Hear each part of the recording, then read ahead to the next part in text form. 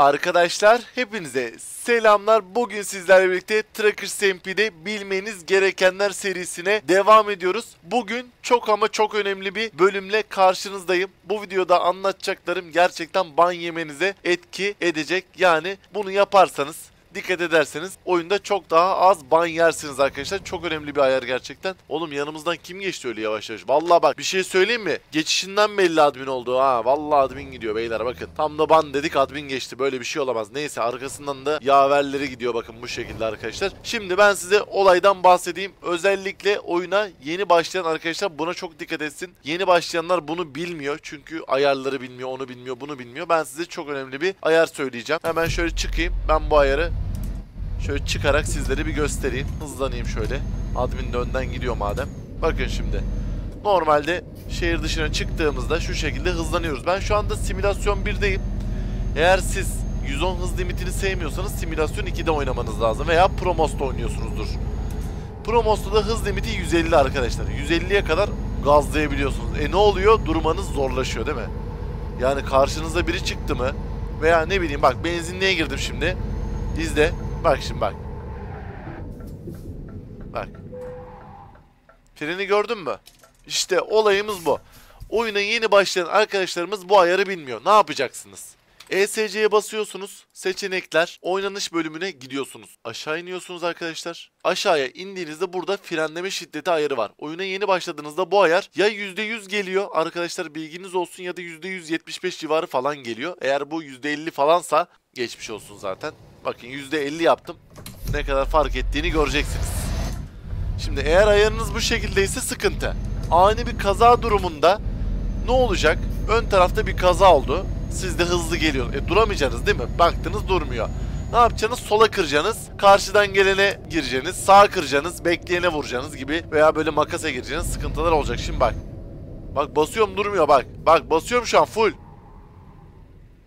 Şimdi kavşaktan döndüm. Şu an frenleme şiddeti en düşük ayarda oynuyorum arkadaşlar. Gerçekten çok tehlikeli. Hiçbir şekilde duramam. Yani öndekinin fren gücü büyük ihtimalle %100'ün üzerindedir. %125 veya %150 oynuyor çoğu kişi bu oyunu. Eğer sizin frenleme ayarınız düşükse kazaya sebebiyet verilecek arkadaşlar. Yani Trax MP'de bu frenleme şiddeti herkeste aynı olmalı diye düşünüyorum. Yani tek bir ayar olmalı, değiştirilmemeli. Bak frene basıyorum tutmuyor abi. Vallahi tutmuyor. Az önce nasıl durdum? Bak basıyorum, vallahi basıyorum. Bak fark ettiniz mi? Şimdi böyle bir frenleme yaptı. Şöyle bir gidelim bakalım ne kadar sürede duracak acaba. Aradaki farkı görmek adına şöyle ben bir gazlayayım. Size o farkı göstereyim arkadaşlar. Şu an 110 ile gidiyorum. Şöyle 110'a çıktık. Sağ şeride geçelim. Emniyette frene basıyorum. Hazır mıyız? 3, 2, 1, 0. Şu an tam gaz yapıyorum. Şu an tam frende durdum. Tam gaz değil yanlış söyledim. Tam frende durdum arkadaşlar. Şimdi ESC'ye bastık. Abi benim ayarım bozuluyor işte öyle yapınca çok sert fren yapıyor demeyin. Abi bu oyunda her şeyden önemlisi ban yememek arkadaşlar. Ban yemek istiyorsanız ayarınızı ellemeyin. Ama ben ban yemek istemiyorum kardeşim diyorsanız bu ayarı %150'ye çekiyorsunuz tamam mı? Alışıyorsunuz abi. Bakın şimdi hızlanalım bir daha. Size ayarın gücünü göstereceğim. 110'a bir çıkalım. Frenleme şiddetini şimdi de %150 yaptık. %100'ün de üzerinde. En sağlıklısı bu. Kesinlikle bana güvenin arkadaşlar. Ben sizlere bu zamana kadar bu oyunu hani en az şekilde nasıl ban yersiniz, nasıl oynayabilirsiniz, neler ban sebebi, neler ban sebebi değil. Bunları elimden geldiğince eski admin olarak ince detaylarına kadar anlattım. Hani şunu da söyledim. Bakın bu ban sebebi değil. Çarpıyorsunuz ama bu ban sebebi değil. Yani bunları söylemezler. Ben söyledim sizlere anlattım. Bak laga giriyor mesela. Frenin gücünü gördünüz mü? Bir dokunmam bile tırımı durdurdu neredeyse. Şimdi arkadan gelen giden olmasın. Ona bir dikkat edelim.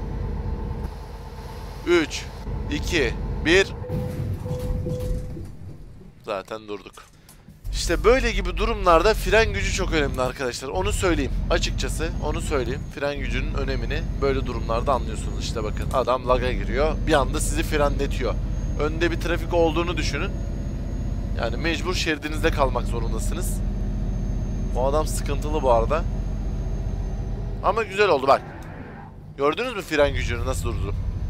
İşte frenleme şiddetiniz yüksek olması lazım. Bu adam yüzünden siz ban yiyebilirsiniz arkadaşlar bakın. Ya abi ne oluyor oğlum? Lan ne oluyor? Oğlum ne oluyor lan? Bak bak gidiyor bir de bir şey olmamış gibi gidiyor. Abi bu vallahi bir şey olmamış gibi gidiyor adam. Oğlum hile mi değil mi? Ne yaptılar öyle? Buraya geldik arkadaşlar. İyi oldu hatta burada başladığımız. Şöyle bir gazlayalım. Şu anda fren gücümüz %150 söylediğim gibi. Bunu bilmiyorum siz hangi şiddette kullanıyorsunuz yorumları yazın. Ben bunu sürekli %150'de kullanıyorum. En fazla şekilde kullanıyorum arkadaşlar. Bilginiz olsun. Bunu konsoldan ayarlayan arkadaşlar da var da önermiyorum onu. Oyundaki ayar gayet yeterli. Bakın bu şekilde şimdi 110'la gidiyoruz. Az önceki olay da çok komik ya. Vallahi acayip bir durum oldu. Şimdi bu şekilde gidiyorum ben. Bu gerçekten çok önemli bir ayar. Bilmeyen arkadaşlar da bir yoruma yazsın bakalım kimler bilmiyordu. Kimler bu videodan öğrendi ve kimlerin ayarı yüzde kaç. Yorumlarınızı bekliyorum. Evet şurada yapmıştık galiba freni. Geliyorum. Şurada. Abi aradaki farka bakar mısınız arkadaşlar? Yani arada acayip fazla bir fark var. Bir de ani fren yaptığınızda keşke dörtlüler otomatik olarak yansa öyle bir ayar olsa. Bak adam aniden fren yaptı duramadı gördüğünüz gibi. Frenleme şiddeti düşük olduğu için bu arkadaş duramadı. Bakın mavili tır. Duramadı arkadaşlar. Vermeyeceksin değil mi yol? Verme. Verme zaten.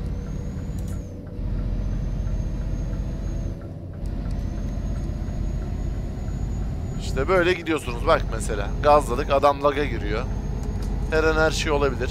Frenleme şiddetimiz yüksek. Bak ben böyle gidiyorum. Bak. Gördüğünüz gibi. İşte adam laga girdi. Ben geçeceğim artık yanına. Yapacağım bir şey yok yani. Adam gitti bu arada. Yani kendi kendine bir şey yaşadı orada. Şöyle hızlanıyorum. Dorse kapakların açık kalmış kardeşim. Kapat onları. Malzemeler düşecek. Tabi bu durum frenleme şiddeti dorsenin tipine göre, dorsenin ağırlığına göre, tırınızın tipine göre değişiyor, markasına göre değişiyor. Ayrıca oyunda yağmur yağıyorsa yine frenleme mesafesi artıyor. Ama tabii ki de frenleme şiddetini arkadaşlar ne kadar fazla yaparsanız o kadar çabuk durursunuz. Bir de bunun ABS olayı var. Yani ABS'yi de açabilirsiniz ama ben ABS'yi açmıyorum. O zaman hiç durmuyor zaten tır. Bir de ABS kapalıysa güzel. Açıksa dediğim gibi mesafe artıyor. Ben o yüzden ABS'yi kullanmıyorum. Onu da buradan söylemiş olayım. Oyunda ABS ayarı var. Bu yeni geldi. 1.49'da geldi yanlış hatırlamıyorsam. Yani yeni geldi bu güncellemeyle ya da bir öncekiyle mi geldi? İşte ikisinden birisinde geldi yani yeni geldi. Bak böyle gidiyorsun öndeki zımba gibi bastı frene bak. Bak hemen durdum. Ya bu çok önemli. Hani dediğim gibi ya ben freni bastığımda tır bir anda durmasın. Alışmanız lazım. O ince ayara alışın arkadaşlar. Azıcık basın.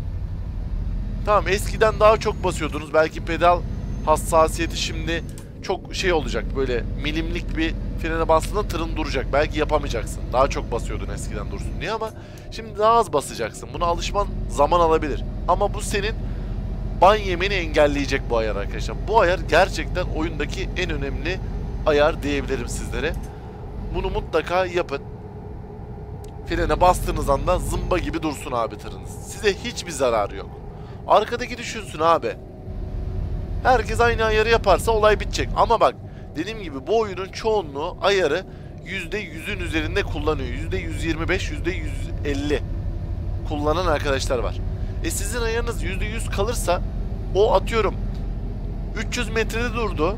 Örnek veriyorum. Sizin durmanız 500-600 metreye çıkacak. E ne olacak? Bu sefer duramayacaksınız. Böyle hamle yapacaksınız sağa sola. Kaçayım diye, vurmayayım diye. Karşıdan gelene gireceksiniz. Ondan sonra suçlu siz olacaksınız mesela. Admin diyecek ki takip mesafeni korumadın, tehlikeli sürdün, işte yeterince yavaşlamadın falan filan. Bu potaya girmek istemiyorsanız arkadaşlar fren gücünüzü en yükseğe çekiyorsunuz ve kafanız rahat oluyor. Bakın ben yıllardır bu oyunu oynuyorum. Bu oyunu düzgün bir şekilde oynamanız mümkün neredeyse değil arkadaşlar. Neden? Normal bir şekilde gittiğiniz anda ya karşıdaki bir şey yapıyor ya önünüzdeki laga giriyor ya öndeki saçma bir şey yapıyor. Ya bir anda sağdan soldan geçenler oluyor. İşte ne bileyim kırmızıda durmayıp önünüze atlayabilenler oluyor. Makasa girebilenler oluyor. Laga girebilenler oluyor. Gördüğünüz gibi. Bunların önlemini alacaksınız. Kendinizce önlemini alacaksın abi. Birinci önlem. Fren gücünü %150 yapıyorsun. İkinci önlem video kaydı alıyorsun. Bakın ben bunu her zaman söylüyorum. ETS Trackers MP'ye girdiğinizde abi video kaydını alın. O video kaydını da 15-20 gün gerekirse bir ay boyunca bilgisayarınızdan silmeyin arkadaşlar. Ne olacağı belli olmaz. 5-10 gün sonra sizi raporlar birisi videoyu silersiniz. Ondan sonra ban yersiniz açtıramazsınız gibi. Ya bunlar çok önemli abi. Frenleme ayarı özellikle çok önemli. Herkese tavsiye ediyorum. Frenleme şiddetinizi yüksek yapın arkadaşlar. Ban yemek istemiyorsanız bu ayarı en yüksek kademeye çekin. Ayara da alışmaya çalışın. Kafanızda rahat olsun. ABS'de ister açın ister kapatın. Ben tabi burada anlatacağım diye virajı unuttum daldım gidiyorum. Mesela ben burada gidiyorum böyle sohbet muhabbet unuttum virajı şimdi gördüm. Bak gibi. Görüyor musun? Ne kadar güzel durduruyor. Ya benim bu ayarım %50 olsa karşıya girmiştim mesela. Söylemek istediğim bu. Seni kurtarabilecek bir ayar var burada. Niye ban yesin? Ben senin için söylüyorum. Ha dersin ki ya ben bu ayara alışamıyorum, yapamıyorum. Eyvallah senin bileceğin iş. Ben söyledim. Ben elimden geleni yaptım senin için. Ben söyleyeceğimi söyledim. Trax MP'de bilinmesi gerek. Al. Al işte bak. İşte gördüğünüz gibi. Adamın attığı U dönüş. Yani tır geliyor umurunda değil mesela. Bak nasıl zımba gibi durdu. Evet. Durum bu arkadaşlar. Ayrıca diğer bölümde ne istiyorsunuz? Dorsi ayarı mı gelsin? Ne bileyim Trax MP'de başka ne olabilir çekmediğim video? Ya örnek veriyorum işte başka oyun ayarları mı olabilir, ses ayarları mı olabilir? Ya örnek veriyorum tamamen arkadaşlar. En iyi tuş, klavye, mouse ayarları mı olabilir, direksiyon ayarı mı olabilir? Yani yorumlara yazın. Direksiyon ayarı gelebilir, klavye, mouse ayarı gelebilir. Dorsa ayarları gelebilir ekstra gibi. Yani seçenekleri size bırakıyorum arkadaşlar. Yorumlara yazın. Ayrıca yorumlarda çok merak ediyorum gerçekten. Sizin fren şiddetleme, e, frenleme şiddeti ayarınız kaç? Al bak kaza oldu şimdi izle. Ben şimdi bunu görmedim daldım gidiyorum telefona bakıyorum vesaire vesaire. Bak böyle çok rahat. Yarım bastım bu arada tam basmadım ayarladım onu.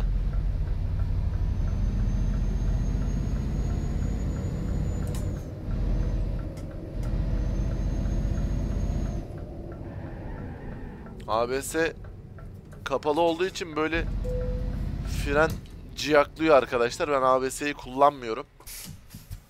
Yani kullanmanızı tavsiye eder miyim? Yani bu oyunda eğer alışabiliyorsanız ABS'siz kullanın. Çünkü fren mesafesi artıyor arkadaşlar ABS oldu mu onu söyleyeyim. Onun haricinde ABS kullanmanızı ben çok tavsiye etmiyorum. Evet, tabii virajlarda işe yarıyor yani. Frene bastığınızda virajlarda tırı şeridinde kontrol edebiliyorsunuz. Direksiyonu e, manevra yaptırabiliyor ama ABS olmayınca önden kayma yaşanıyor arkadaşlar ama tabi dediğim gibi ya bas çek yaparsanız aynı mantığa geliyor da ayarlayabilecek misiniz bilmiyorum. Yeni başlayan arkadaşlar denesinler hangisi daha rahat boş bir yolda tavsiye ederim. Frenleme şiddetlerinizi yorumlara bekliyorum. Umarım faydalı bir video olmuştur.